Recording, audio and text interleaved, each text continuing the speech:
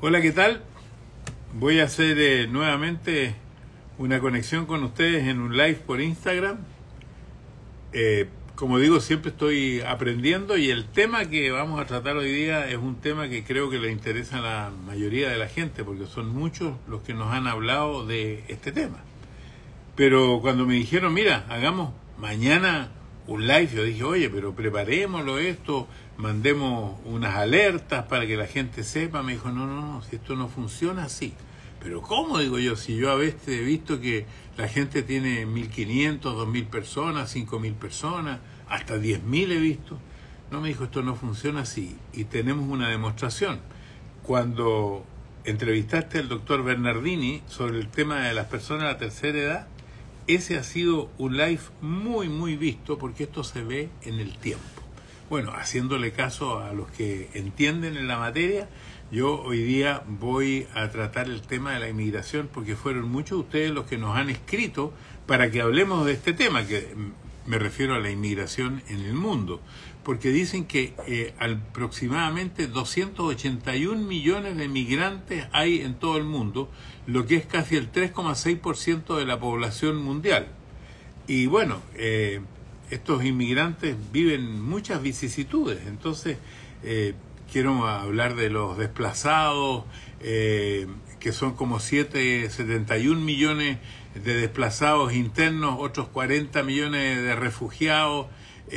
Bueno, el destino principal siempre es Estados Unidos. El destino principal, desde lo que se ve aquí en 1970, siempre ha sido Estados Unidos. Y el número de personas nacidas en el extranjero que viven en Estados Unidos se han más que cuadruplicado, pasando a ser 12 millones en 1970 a cerca de 51 millones el año 2020. No sé cuánto será hoy día. Y para eso vamos a entrevistar, eh, o no, más bien, porque me dicen que aquí no hay que entrevistar, sino que hay que conversar. Vamos a conversar con una persona que conozco bastante. La conozco desde hace 20, no, veintitantos años, pero él hace 26 años es abogado experto en temas de inmigración, 10 años tratando temas de inmigración en el programa que yo hacía en Sábado Gigante, tiene actualmente una oficina con 32 abogados, cientos de miles de casos atendidos y más de un 90% de aprobación de sus casos, según eh, me han informado. Y yo pienso que este tema eh, lo tendríamos que dividir. Primero, para hablar de los que quieren visitar eh, los Estados Unidos para venir con su familia o una pareja o uno solo quiere conocer el país, quiere ir a Disney World, etcétera, etcétera los que quieren inmigrar a Estados Unidos, ¿qué es lo que tienen que hacer? ¿Qué pasa con aquellos que vienen, pero vienen sin documento, a la mala, ingresan? Eh, ¿Qué pasa con los que están indocumentados dentro del país? Y es verdad que se puede perder el estatus legal. Por ejemplo, yo eh, soy ciudadano americano, pero dicen que si no me comporto como corresponde, yo podría perder esa categoría de ciudadano americano. Y por eso entonces vamos a nuestro invitado, con quien vamos a conversar sobre este tema. Hola, ¿qué tal? Hola, don Francisco. ¿Cómo estás? Muy bien, aquí gusto saludarlo, tanto tiempo, eh, qué, alegría estar con usted nuevamente. Mira, yo quiero decir que tú eres un abogado que tiene un récord, porque tú has sido el abogado, eh, todavía no, nadie ha roto tu récord, eh, has sido el abogado más joven que se ha titulado en la Universidad de Miami, en el UM. Sí, me gradué a los 21 años. ¿Ya? Y bueno, así he acumulado 26 años. ¿Cómo pasa el tiempo, no, Francisco? Así es, ha pasado el tiempo. Y quiero decirle a toda nuestra audiencia eh, que está en este momento y a los que se quieran agregar porque tienen eh, inquietudes de inmigración o aquellos que saben que sus amigos tienen inquietudes de inmigración, llámenlo y diga que estamos haciendo eh, este live en Instagram para que puedan eh, participar. Mira, eh, yo quisiera dividir un poco esto eh, como, en, cinco puntos. ¿ah? dentro de esto, los que quieren visitar a los Estados Unidos, ¿qué es lo que tienen que hacer o cuándo pueden conseguir la visa? Los que quieren venir de visita nomás por unos 15, 20 días, quieren venir con su familia, quieren ir a Disney World. Los que quieren inmigrar y quieren conseguir legalmente, porque después te voy a preguntar, dicen que tú le explicaste a nuestro productor Marcelo Amunati que hay miles y miles, decenas de miles de trabajos disponibles en Estados Unidos que la gente puede optar a ellos. Yo no tenía idea de eso. Los que quieren inmigrar. Ahora, también quisiera saber qué les puede ocurrir a aquellos que vienen, cruzan la frontera indocumentados y llegan aquí indocumentados. Después también qué pasa con los que están dentro del país y que están indocumentados, qué derechos tienen, qué oportunidades tienen, y aquellos que, como yo, somos ya personas que tenemos documentos, eh, si podemos perder nuestra, nuestra, nuestro estatus como, como ciudadanos americanos. ¿Te parece bien que hagamos esta diferencia? Claro, claro. Aquí hay mucha tela por donde cortar. Y esto pique y se extiende. Ya, mira, antes que nada, una cosa que está en este momento en las noticias, por lo tanto hablemos de eso, lo que está pasando en la frontera. Eh, ¿Qué está ocurriendo en este momento en la frontera? Bueno, en los últimos eh, tres años y medio han entrado millones de personas. Don Francisco se dice que hasta eh, 8 millones o más. Eh, recientemente, la semana pasada, se anunció la última orden ejecutiva eh, de esta administración, permitiendo que si llegan a más de 2.500 encuentros, pueden cerrar la frontera temporalmente, hasta que ese promedio baje a 1.500 encuentros. Pero el punto es que hay muchas excepciones y eso es bueno para nuestra gente. Usted sabe que actualmente las personas hacen una cita en su teléfono para poder entrar en la frontera, se llama el CBP One, eso están exentos. Oye, bien, antes de que tú expliques más de esto, eh, perdona que te interrumpa, quiero que la gente sepa que puede hacer todas las preguntas que quiera y vamos a elegir preguntas entre todas las que van a ir apareciendo ahí. Por favor, haga sus preguntas y vamos, por supuesto, a seleccionar las preguntas para que todos tengan sus respuestas. Eh, sigue, por favor. Eh. Eh, sí, don Francisco, y estoy viendo muy buenas preguntas y de todo el mundo, desde Brasil, de dónde es mi esposa. Usted sabe que yo estoy casado con una brasileña.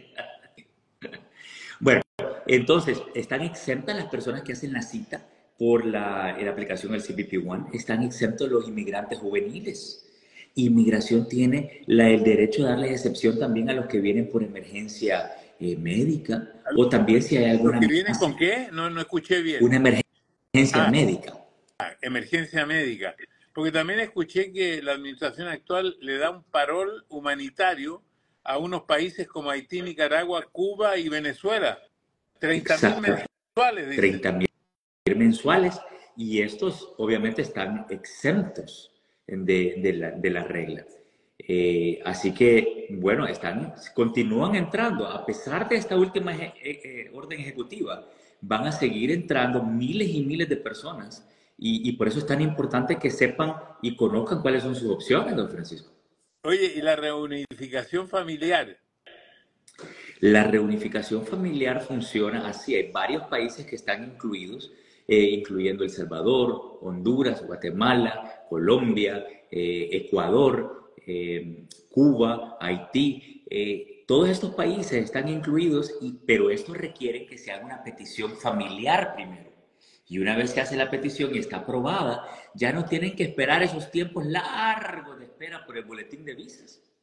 el periodista que estuvo preparando esto, que es tu amigo Marcelo, me decía que es muy importante esto de ver eh, las próximas elecciones, porque en las próximas elecciones eh, podría haber cambios. Pues tú le decías que, aunque no tenga que ver con la política contingente, las elecciones son importantes para aquellas personas que necesitan regularizar algo.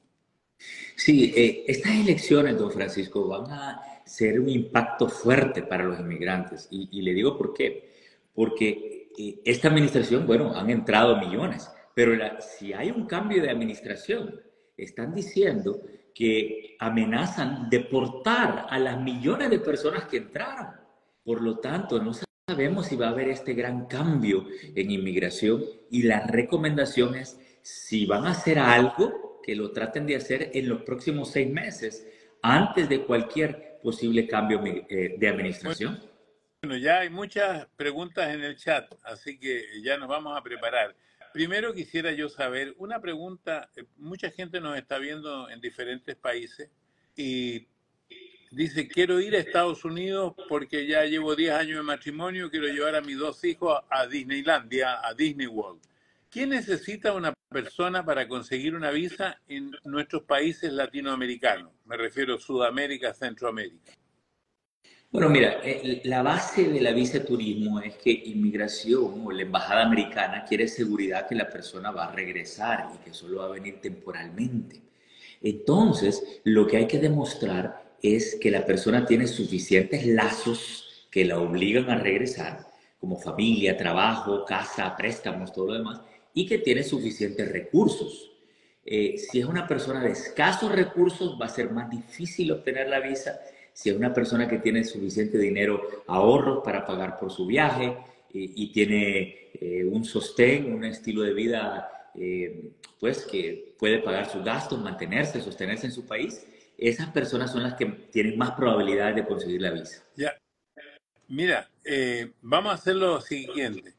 Eh, vamos a primero a, tomar algunas preguntas y después vamos haciendo eh, otro tipo de, de, consultas, como por ejemplo esto de que hay millones de empleos disponibles en Estados Unidos. Yo no tenía idea. Y a esos empleos se puede postular desde fuera eh, y que hay un sitio, y hay, pero eso lo vamos a dejar para un poquitito más adelante. Vamos con las preguntas. Hay una pregunta, el eh, P. Nucerios, dice, los cubanos con I-220, ¿qué pasará? Don Francisco, esta es una pregunta buenísima y le digo por qué. Porque antes se hacía el argumento que la I-220 era un parol, algo que se es como un equivalente a una entrada legal para calificar por el ajuste cubano. Entonces, eso cambió y ahora ya no lo aceptan como un paro, o sea que no se puede hacer el ajuste cubano como ha ido 20 y lo que tienen que hacer es pedirle a ICE, el Departamento de Deportación, que le dé un parol para que puedan calificar por el ajuste cubano. Tengo una pregunta de la Argentina. Argentina entra en el programa Esta me preguntan, Ezequiel. Eh, si yo me recuerdo correctamente, en este momento no califican eh, para el esta Argentina. Eh, anteriormente sí, pero en este momento no. No, no califica. Dice Vaquitamunu, ¿puedo pedir a un familiar siendo residente? Es otra pregunta. claro que sí, pero no a todos los familiares. Una persona residente puede pedir a su esposa, y a sus hijos solteros, eh, menores o mayores de edad.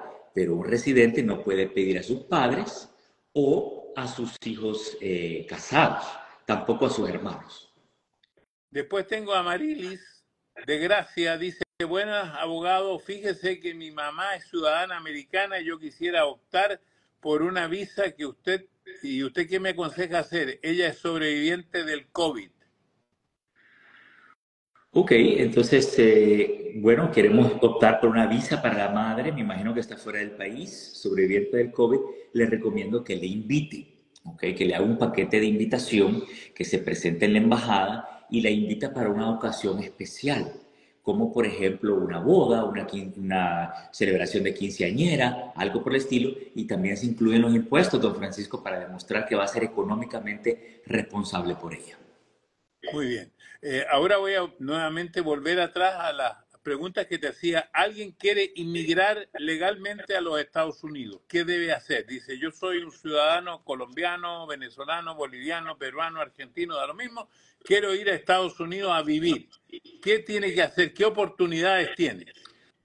Bueno, eh, la oportunidad principal es eh, del empleo, buscar un empleador en los Estados Unidos.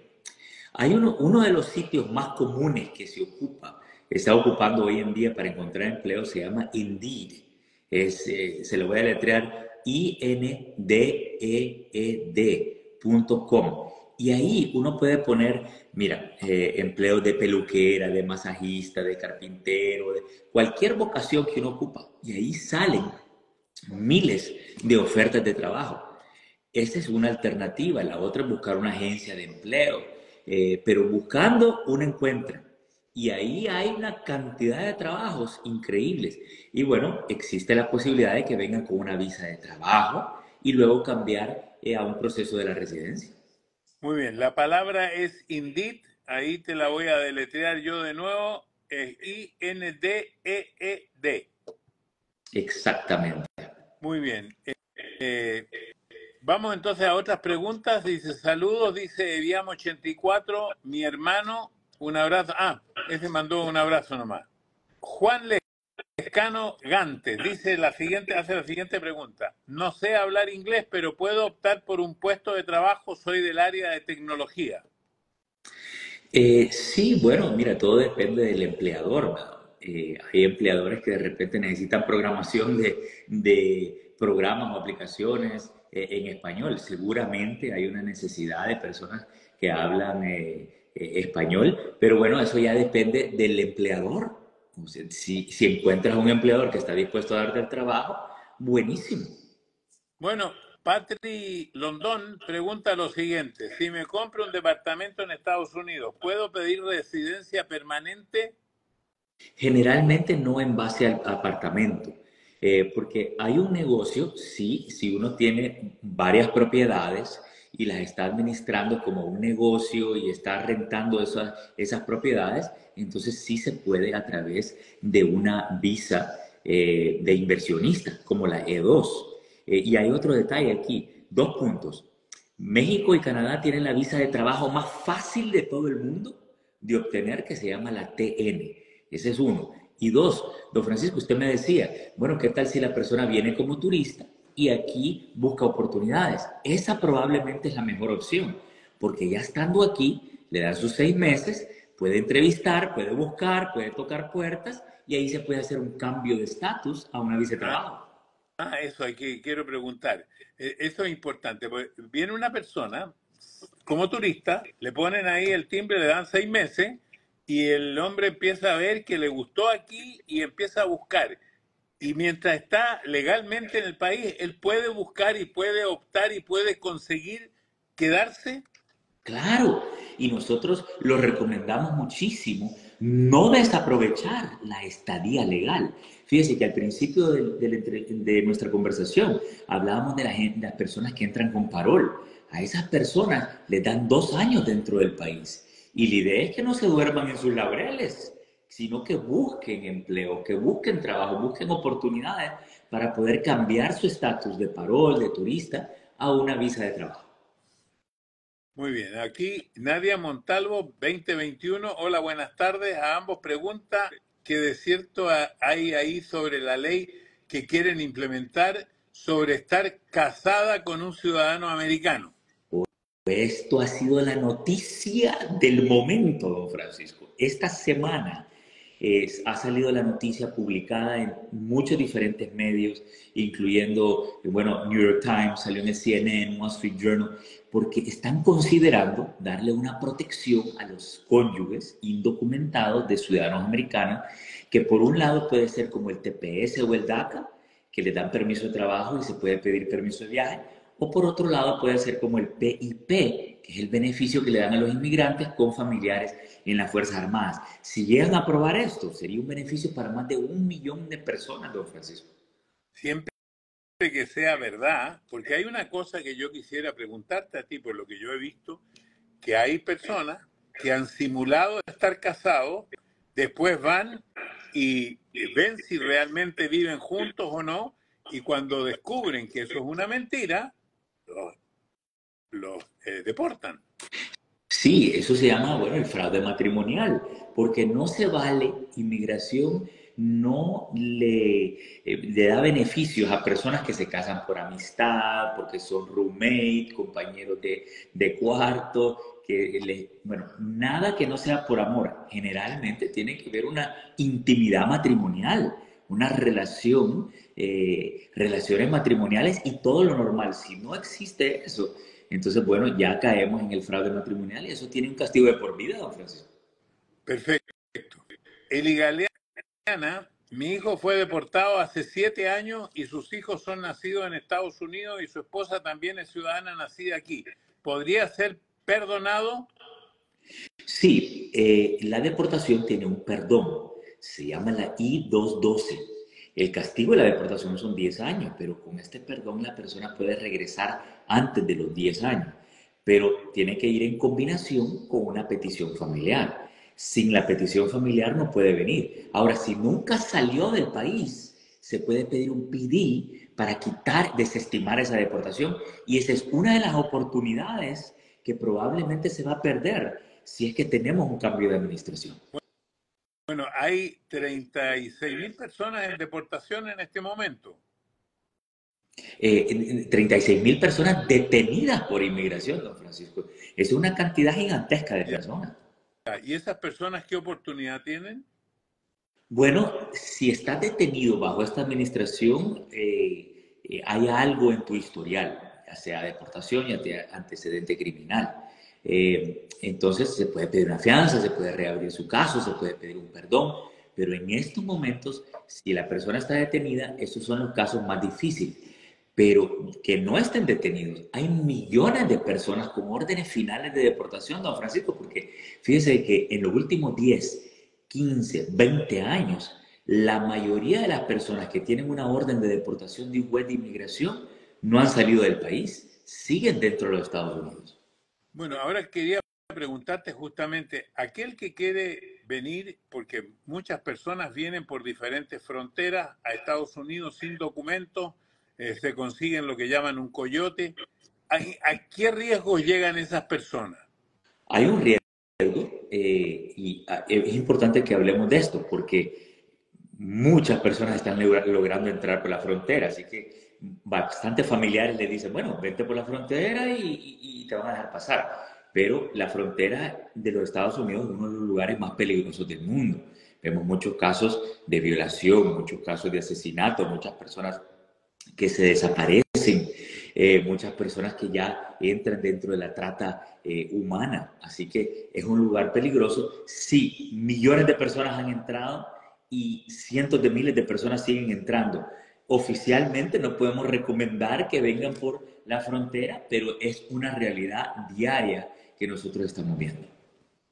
Ahora mira, quisiera preguntarte lo siguiente, aquellas personas que son indocumentados están dentro del país, están trabajando sin documentos, ¿qué posibilidades, qué oportunidades tienen? Bueno, eh, analicemos todas las oportunidades. Bueno, número uno, si tienen hijos, don Francisco, los hijos los pueden pedir pero no solo la petición, pueden entrar a las Fuerzas Armadas los hijos y darte una, un parol, que es como una entrada legal, un permiso de trabajo. Eh, luego, los hijos también que son víctimas de todo tipo de bullying o de abuso, ellos pueden calificar como víctima de crimen y también beneficiar a los padres si los hijos están enfermos. Eh, pueden darle una acción diferida a los padres.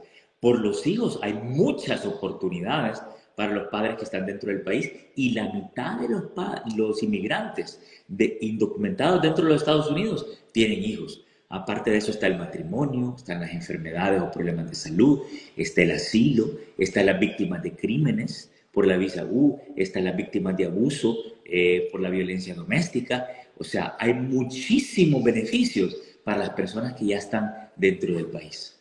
Bueno, eh, Jorge Castillo, 77-76, tengo 19 años de vivir en Estados Unidos, soy soltero, tengo 39 años de estar aquí en este país y he pagado mis impuestos siempre y no tengo ningún documento en este país. No he tenido ningún problema. Bueno, eh, me parece que una persona relativamente joven eh, que busque el amor es la primera y esa es la más común, don Francisco, buscar el amor casarse si se casa con una residente sudamericana, pero también analicemos si tiene una enfermedad o problema de salud, si ha sido víctima de crimen. Esas son las tres alternativas más comunes para alguien que no tiene absolutamente nada. Aquí tengo otra pregunta, Caridad Busto. Hola, buenas tardes. ¿Cuál es el tiempo máximo para que llegue una residencia? En mi caso ya hace 27 meses de haber aplicado y no me ha llegado entre por él la e, por la esta. Soy cubana, ciudadana española. Gracias. Ok, eh, don Francisco, en los tiempos de espera de la residencia son por ciudad. Eh, ¿Por qué? Porque depende de una entrevista con inmigración y hay ciudades que están mucho más rápido. Entonces, eh, generalmente el promedio es entre uno y dos años, pero les recomiendo que entren a la página de inmigración, que es la uscis.gov, y ahí ponen tiempos de procesado y le va a poder poner la residencia, la ciudad donde vive y le va a decir el tiempo exacto. Bueno, aquí tengo otra, dice, soy de la República, a ver, eh, aquí en Miami, Visa, Talento u otra que él crea que es mejor. Oh, bueno, si tiene, eh, la persona tiene algún talento, alguna habilidad, algún historial, si ha recibido premios, hay visas eh, para las personas con talentos extraordinarios. Eh, don Francisco, la cantidad de visas para eh, personas que quieren venir por trabajo son como el abecedario. ¿ok? Ella está hablando por talento de la visa O. Está la visa P también para las personas que son artistas, deportistas. Pero para profesionales la H1B, para agricultura la H2A, para trabajadores temporales la H2B, para trabajadores de intercambio la J1 y así y así sigue la lista, una lista enorme de visas que hay. Bueno, aquí C Flores T, 24. Tengo visa, dice, de trabajo. Mi familia, esposa e hija, ¿tiene más probabilidades de darle visa de turismo? Sí, eh, ahí está la clave. Cuando la persona va a la entrevista en la embajada americana, le van a preguntar si tiene familiares dentro del país. Si la respuesta es que sus familiares están indocumentados, bajan las probabilidades que le den esa visa turista.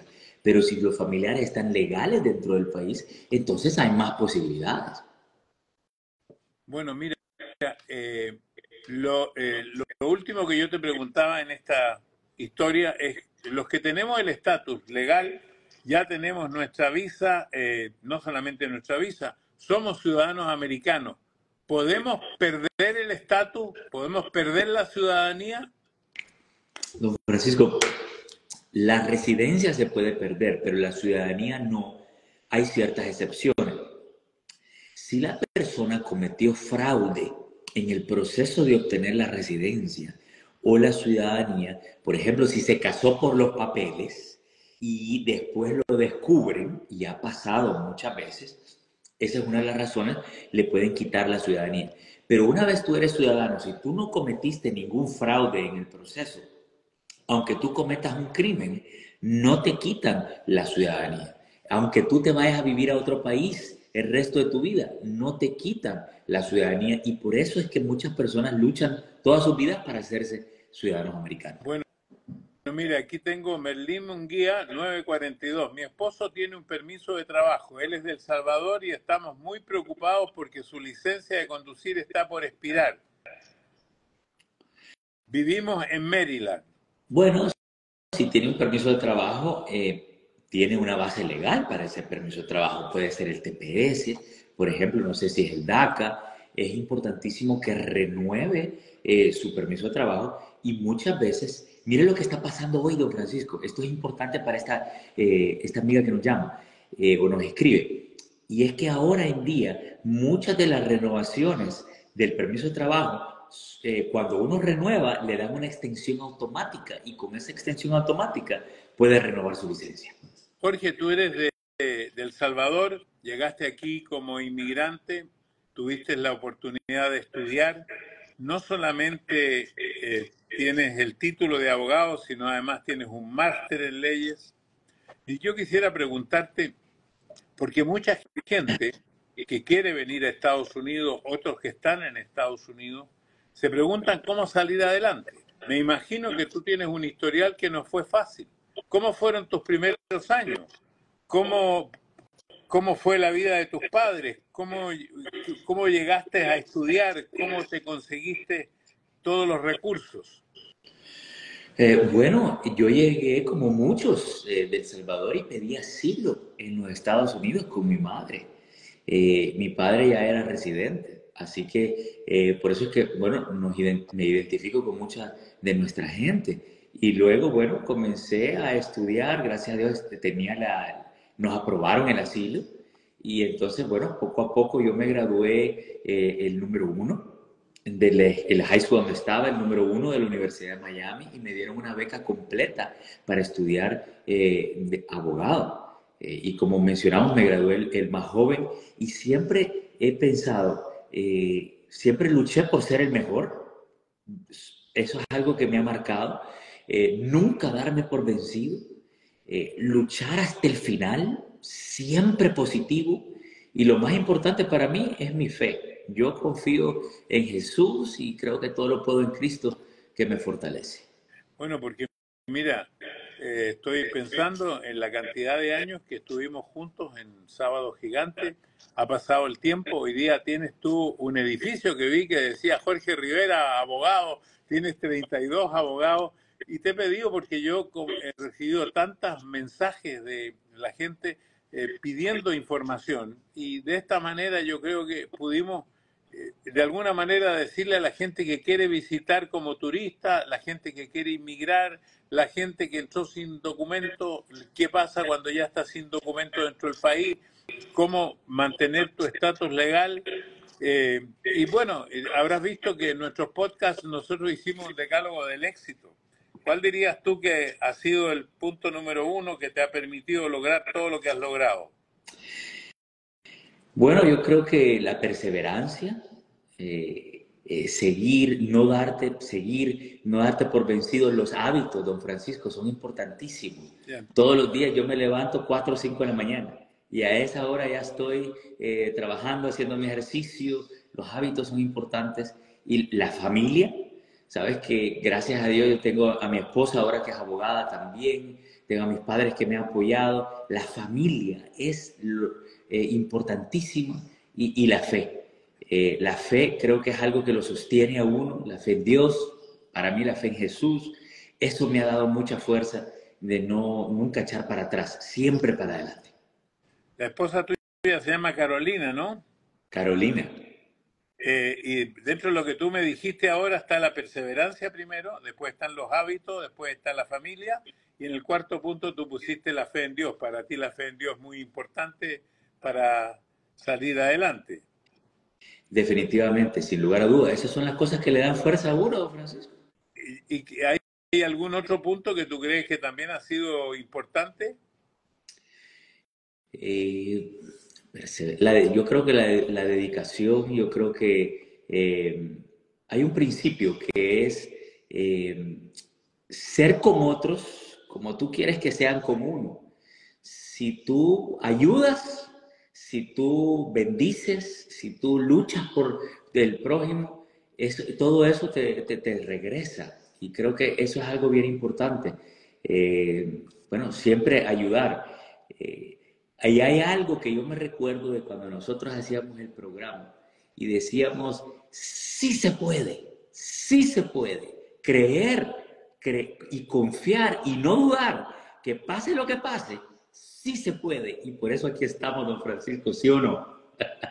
ah, mira, eh, en esta pequeña conversación, eh, muy brevemente, tú dijiste el número uno, la perseverancia, que coincide conmigo, la de tener hábitos, que coincide conmigo, porque eh, la familia, que coincide conmigo, la fe en Dios, yo digo la fe, sí, coincide, la dedicación también, tendría que aceptarlo, que es el número cinco, el seis, es ser como quieres que sean con uno. Ese no se me había ocurrido y me parece bien bueno. Eso es importante. Sí. Y bueno, mientras eh, piensas en, en, otros tres puntos para hacer un decálogo, dice, si quien quiera estupidez. Mi hijo tiene 19 años, es ciudadano, nunca ha ido a Estados Unidos, pierde sus derechos como americano y es obligación que sea militar si va a su país. Gracias. Ok, eh, vamos a tratar de descifrar esa pregunta. Eh, me imagino, está hablando de que si va a su país. No, eh, lo que pasa es que es un ciudadano que nunca ha ido a Estados Unidos, nació en Estados Unidos, está fuera de mm. Estados Unidos y quiere saber si pierde los derechos como americano y si hay obligación cuando vuelve de hacerse militar. No, bueno, depende de la edad. eh, recuerda que es un requisito registrarse con el servicio selectivo de los 18 hasta los 26. Si ya pasó de los 26 años, ya no se tiene que registrar. No dice que tiene 19. Sí, entonces tendría que cuando venga registrarse con el servicio selectivo, pero no quiere decir que tiene que participar, que tiene que ir. Recuerda, el servicio selectivo solo es en tiempo de guerra. Así que eh, ese es un detalle. Y número dos, si nunca viene a los Estados Unidos, no pierde, eh, no pierde su ciudadanía. Así que él puede pasar el resto de su vida fuera del país eh, y siempre ser ciudadano americano. Bueno, dice aquí, dice, déjeme hacer una pregunta, B Castillo 06. Si te han detenido con un pasaporte americano, ¿es posible arreglar documentación de alguna manera? Sí, eso es ah, cuando tú te haces pasar por ciudadano americano. Eh, entonces hay un castigo de por vida. Nunca se puede hacer eh, uno residente a menos que estés aplicando por la visa U, que perdona, es la visa U para víctimas de crímenes, perdona el haberte hecho pasar por ciudadano americano. También la visa T de víctima de tráfico humano. Esas dos eh, vías eh, son de las únicas que te perdonan haberte hecho pasar por ciudadano americano.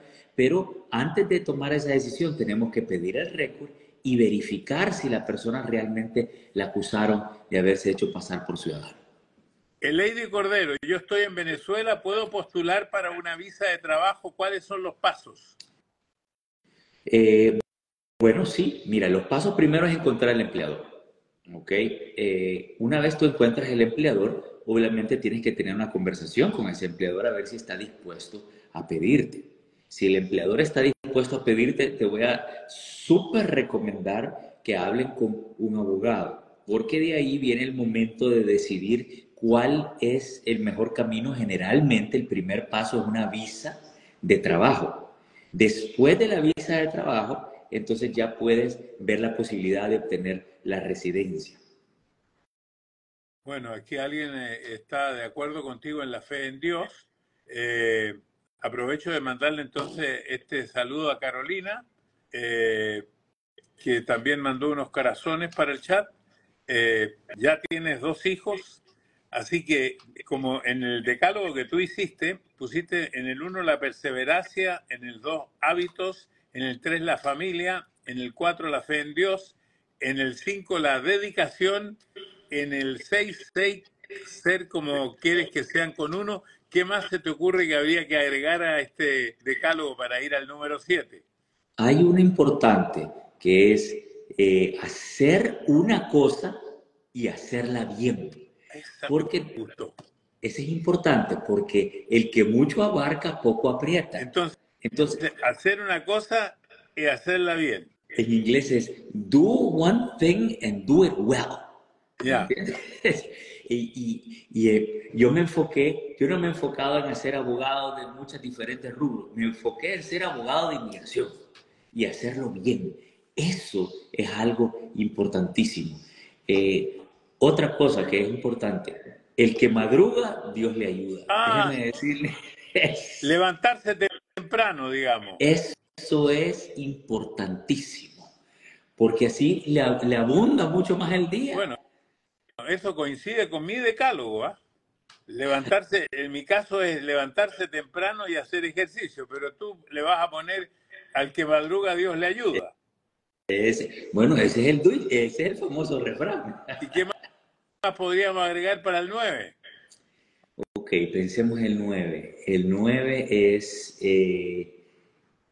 Y, y, te digo todo esto mientras tú piensas, porque fíjate, eh, tú eres el abogado más joven, te titulas a los 21 años, eres un inmigrante, logras superar todas las barreras que uno tiene cuando llega, cuando tiene que acomodarse, aprender un nuevo idioma, logras, después haces eh, una especialización, eh, tienes actualmente 32 abogados, te conocí durante 10 años haciendo sorpresas a la gente a la cual le resultaba una de sus peticiones a través de de, Sábado Gigante, yo creo que eh, hay, hay mucho de tu historia que la gente no conocía, no sabía. ¿Qué edad tienen tus hijos ahora? Bueno, ahora tengo una niña de cuatro y de, este, y de seis años, se llama Carolina, y Carolina y Giovanna Rivera. Eh, y bueno, sabe que ya las estoy encaminando para ser abogaditas. El, eh, todo, casi todos los días me piden, papá, queremos jugar el juego de las abogaditas. Y aquí en esta misma oficina donde yo estoy en casa, ellas se sientan y yo les hago consultas. Eh, pero ya me recordé, tengo una más para la lista de 10. Eh, falta, estamos en el 9, ¿no?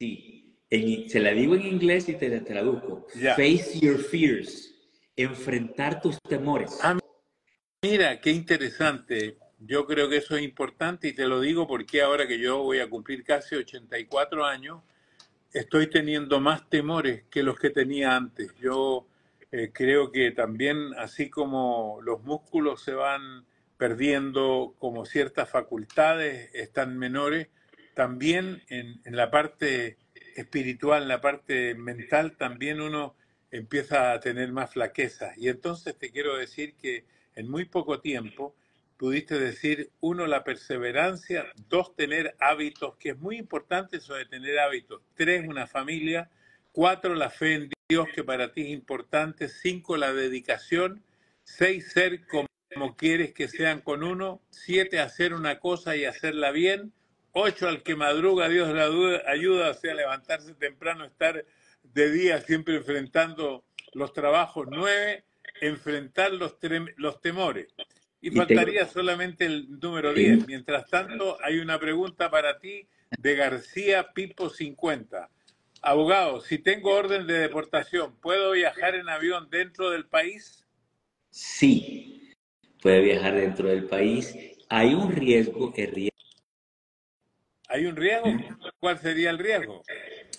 Mira, el riesgo es que inmigración te vaya a detener, te vaya a cuestionar, pero con tantas millones de personas entrando por la frontera, usted sabe que es una cosa increíble que eh, muchos inmigrantes, si no tienen pasaporte, están viajando con solo la cita que tienen en corte. Así que ahora el riesgo de viajar dentro del país si no tienes tus papeles ha bajado dramáticamente, pero un consejo importante aquí, que viajen con su pasaporte. Antes de viajar, esa es la mejor identificación no vayas a viajar sin identificación, saca el pasaporte de tu país y con el pasaporte entonces ya uno puede viajar. Ahora, hay que tener paciencia porque eh, te quiero contar de un familiar cercano mío. Ella es americana, se casa con un chileno porque vive en Chile, tienen dos gemelas o sea, tiene un par de gemelas, no dos gemelas, tiene un par de gemelas, mal, dicho, y quieren venir a los Estados Unidos. Ella quiere que entonces a su marido eh, se le dé la visa para entrar a Estados Unidos y que las gemelas también puedan ser americanas. Bueno, todo este proceso se ha demorado un par de años. Entonces yo quiero también decir que hay que tener paciencia en esto, porque los procesos son largos. Sí, definitivamente. Mira, y, aquí es un, punto bien importante. Eh, hay que tener un gran cuidado con los fraudes y las estafas, y siempre lo hemos hablado, Francisco, porque si alguien te dice, mira, mañana te consigo el permiso de trabajo, eh, la residencia te la tengo súper rápido, cosas así, que te están prometiendo las cosas muy rápida y muy fácil y te quieren cobrar eh, grandes cantidades de dinero, inmigración no funciona así, es un proceso, hay millones de personas esperando, hay que aplicar y, llega, te llega un recibo y, nada es rápido con inmigración, don Francisco. Déjame ver entonces, me falta el décimo punto que, que todavía no está eh, tengo definida. En el decálogo. Te la tengo en la mano. ¿Cuál es? Siempre positivo, nunca negativo. ¿Cómo era eso? Repítemelo. Siempre positivo, nunca, negativo. negativo. Muy bien. Hemos encontrado un decálogo. Lo hemos hecho distinto a los podcasts que hago con los invitados, eh, porque en el caso tuyo lo hicimos en un tiempo bastante breve y el decálogo dice lo siguiente. Uno, la perseverancia. Dos, tener hábitos. Tres, la familia. Cuatro, la fe en Dios. Cinco, la dedicación. Seis, ser como quieres que sean con uno. Siete, hacer una cosa y hacerla bien. Ocho, al que madruga Dios le ayuda. 9. Enfrentar tus temores. 10. Siempre positivo, nunca negativo. Mira, eh, si a las personas que están viendo ahora o lo verán después o lo escuchan o alguien se lo cuenta y algo de esto les sirve, igual que te lo dije años atrás cuando hacíamos el programa Sábado Gigante, yo como comunicador me siento muy contento. Aquí yo sigo los detalles de la gente, sigo lo que la gente me dice, la gente entendida, los más jóvenes, para poder eh, juntarnos y poder encontrarnos en estas redes que es distinto a lo que hacíamos normalmente en la televisión. Vamos con algunas preguntas más. Hace tres años fue víctima de violencia doméstica. ¿Puedo hacer un caso ahora por eso? Sí, Orellana. Definitivamente. Si hay un reporte de la policía, se puede calificar por la visa U eh, eh, como víctima de un crimen. Por cierto, tenemos una muy buena amiga en común, se llama Maciel, y hoy estuve en la mañana en la televisión dando una sorpresa de la visa U, imagínese usted. Ah, sí. Seguimos, seguimos en lo mismo entonces. Seguimos en lo mismo y ¿sabe qué? Me encantaría dar una sorpresa aquí como usted también. Bueno, la, la sorpresa que diste es que contaste un poco de tu vida yo conté de que hace 26 años eras abogado, que desde que te conozco donde estabas solito, ahora tienes 32 abogados trabajando contigo, tienes una mujer que se llama Carolina, tienes un hijo de cuatro, tienes otro hijo de seis años, pudiste hacer este decálogo del éxito, tu papá ha sido un gran ejemplo de que los sueños se pueden cumplir. Eh, te felicito por todo lo logrado. Y esto es para también motivar a la gente, para decirles que en, parte de lo tú lo, dijiste y lo pusiste, que sí se puede, que hay que tener fe y esperanza de un mañana mejor. Dice, tengo dos años con la residencia, ¿a los cuántos años puedo hacerme ciudadano americano? Y el examen sería en español, tengo 49 años de edad, se llama Bakitamunu. Generalmente, don Francisco, son cinco años para aplicar por la residencia y se puede aplicar tres meses antes, pero hay una regla del, que se llama la del 333. Si llevas tres años con la residencia, tres años casado con un ciudadano que lleva tres años con la ciudadanía, se puede a los tres y no tiene que esperar a los cinco. Bueno, Jorge, yo te agradezco muchísimo el que hoy día nos hayas acompañado.